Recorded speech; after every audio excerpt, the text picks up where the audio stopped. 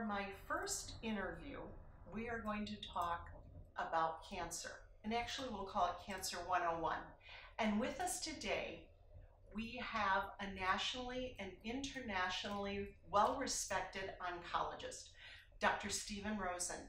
And Dr. Rosen is the provost, cancer center director, chief scientific officer, and director of the Beckman Institute at City of Hope in Duarte, California. And he's also my husband. So, anyway, welcome, Steve. So happy to have you here for my first interview. And I'm honored to be your first interview. you know, the most dreaded word in any language, I think, is cancer. It's very frightening. I'd like for you to give us an overview of cancer.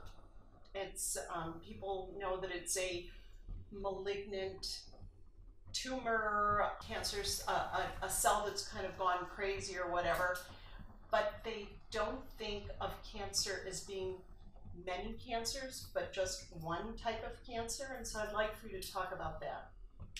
Well, cancer is an uncontrollable growth, and uh, usually this uncontrollable growth can also invade tissues and then spread to other organs.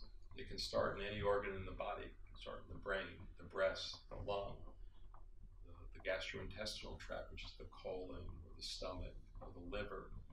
Uh, it can be in the kidney. Uh, there is no organ that cancer doesn't develop in.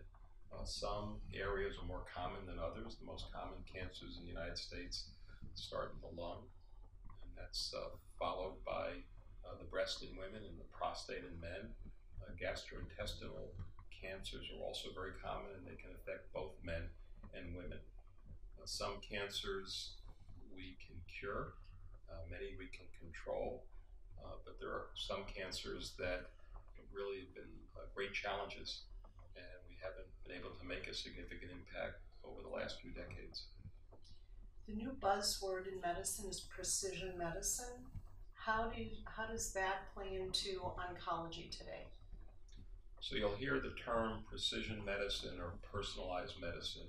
In this instance, we're talking about analyzing a individual's cancer and coming to a conclusion of what may be the most vulnerable aspects of that cancer that allow us to effectively treat the malignancy or what we refer to as the cancer uh, and minimize side effects to the person. Uh, historically, if an individual presented with lung cancer, everyone would be treated in the same manner. And a small percentage would benefit, and a large percentage of individuals would have no benefit from the intervention. Uh, with precision medicine, we're trying to be more precise, to personalize the treatment so that we can actually enhance the number of individuals who will have a positive result from those um, that we won't be able to help. You began your career in 1979 up until now, and you know, I just happened to mention that I, as a nurse, took care. The majority of the patients that I saw had heart attacks, stroke, bleeding ulcer. You didn't hear about cancer as much as you do now everybody seems to be touched by cancer, either personally, they've been diagnosed, or a loved one has been diagnosed. And I would just like for you to talk about that. So the actual statistics have not changed dramatically in that regard. As the population has aged, uh, it used to be the life expectancy was about a decade less than it is now. and Cancer is a disease of aging. So in part, you're seeing more cancer because of the aging phenomena. Uh, there are cancers that have increased in incidence, and there are a number that have declined over that period of time. Uh, the most profound changes have occurred in the blood cancers, which is my area. That's leukemia, lymphoma, myeloma, where we now have more effective treatments. We don't have early detection, but more effective treatments that diseases that had a very limited life expectancy that can be extended and many can now be cured. In the solid tumors, uh, there have been a variety of things that happened over this period of time. Uh, there's been enhanced early detection, so you can catch a cancer earlier and cure it in a stage prior to it spreading. Uh, the most uh, remarkable advance actually happened before that. It was the Pap smear, where you can pick out abnormalities in the cervix before a abnormal growth became a frank cancer, and so you can attend to it and uh, cure the disease. Uh, there was uh, mammography for early detection of breast cancer, colonoscopy for early detection of colon cancer. Uh, these were advances that had an impact on, uh, in some instances, the incidence of the cancer. In the case of colon cancer, you picked it up as a polyp before it became a frank cancer. Mm-hmm. In the case of breast cancer, you picked it up before it was um, invasive in some instances, or when it was in its earliest stage that it could be cured. Uh, unfortunately, there are certain cancers that we still are challenged by because we can't detect them early and they tend to spread uh, before we're actually able to make a diagnosis. And that's uh, true of pancreatic cancer, uh, many lung cancers. They tend to be in silent areas where there's no uh, adequate screening at this juncture. What about, I have to throw this out because I there are a lot of conspiracy theorists who believe that there is a cure for cancer and that the medical community is not sharing that information because cancer care is so lucrative. What do you say to those conspiracy theorists? Well, they're ignorant. Uh, that's ridiculous. If I was able to come up with a cure of cancer, regardless of what the cancer is, if my motivation was to either be famous or wealthy, that would happen.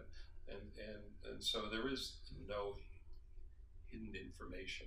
In fact, uh, scientists and clinicians rush to publish what they find because that's how they get promoted, that's how they become distinguished, that's how they got their recognition. Uh, I would say that the challenges are that there are causes of cancer that we haven't been effectively able to interfere with, uh, ranging from tobacco use. Well, to- actually, you know, it- let's talk about the causes because tobacco use used to be the number one cause of cancer, and that has been replaced by. obesity. And then, what are a couple of the other causes? So, if you uh, look at the primary causes of cancer, uh, anything that damages our DNA, or our chromosomes, can pot- potentially lead to cancer. And anything that causes cells to replicate, because then they're more prone to develop these alterations in the DNA, which makes up the chromosomes. And that has to happen before you have a, a cancer. Uh, those insults are associated with the development of cancer. So, uh, radiation causes cancer. And it could be radiation like the atomic bomb, which led to leukemias developing later Mhm. point, but it also is sunlight causes melanomas or skin cancers. Uh, there are environmental toxins. Those tend to be less common, but they still can cause cancer. Uh, historically, benzene was one of the examples, again, uh, causing a form of leukemia. Uh, you have tobacco causes damage to, again, the DNA and chromosomes, leads not only to lung cancer, but cancer in many sites uh, within the body. But it turns out if 10 people uh, smoke two packs a day, uh, only two of the 10 will develop lung cancer and tends to go in families because there's also a genetic component that affects cancer. In this case, it's can you repair the damage?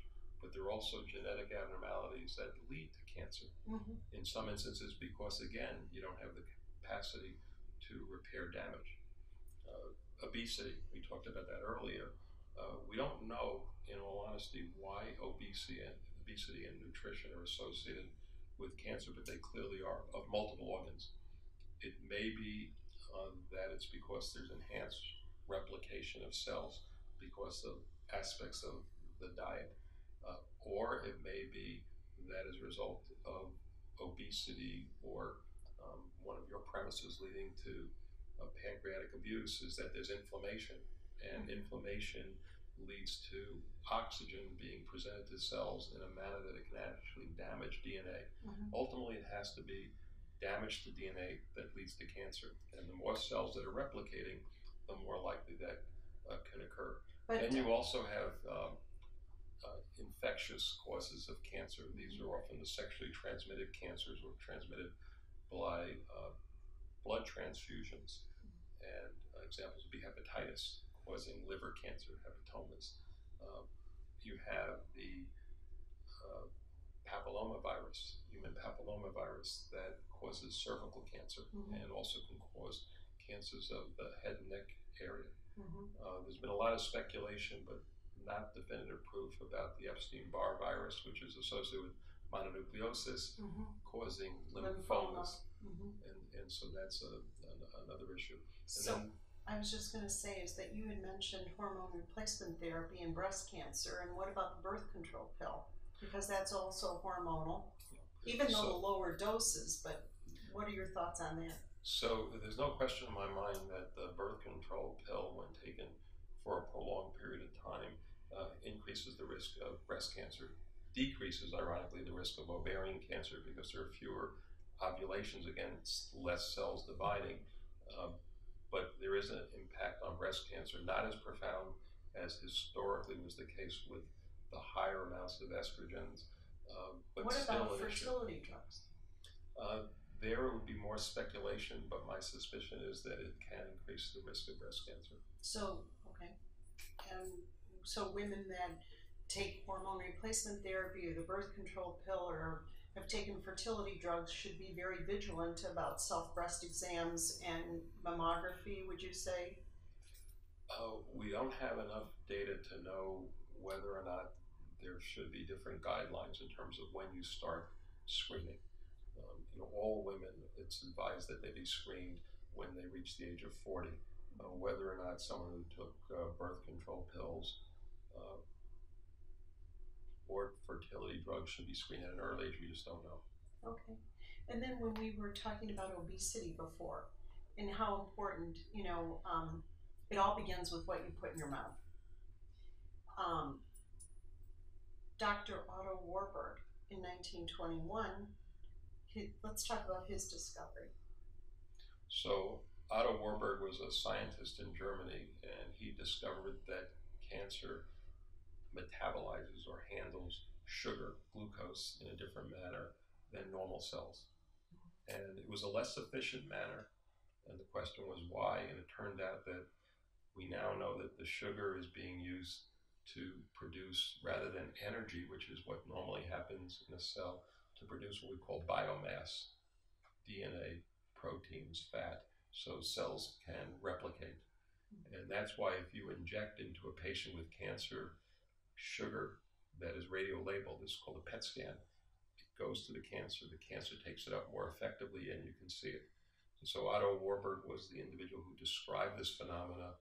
It's called the Warburg effect, and he received the Nobel Prize as a result of his work. We now uh, are trying to develop therapies uh, that affect the way glucose is taken up in a cancer cell uh, to enhance the killing of the cancer cell. Uh, there's also a possibility that by uh, manipulating diet, and this is the case in animals, uh, there's some provocative data in humans, not proven, uh, that if you can keep the glucose level lower, uh, you may impact on the ability of cancer killing drugs to kill the cancer.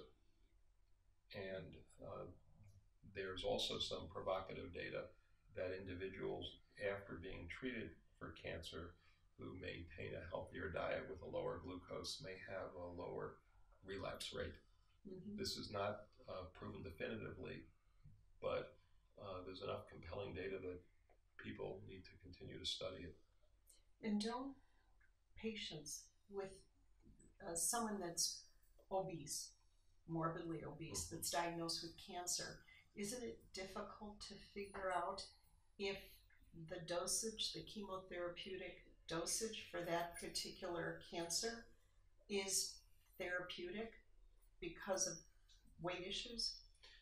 That's another challenge we have. Uh, you would think it's simple to figure out what the proper dose is for an individual. Historically, uh, when we dose individuals with cancer therapies, it's uh, based on their size and an arbitrary dose, but the reality is just about every patient handles the drug differently, uh, whether it's because of um, the amount of body fat they have, or the enzymes that are involved in metabolizing the drug, Mhm. or their level of either um, liver or kidney function.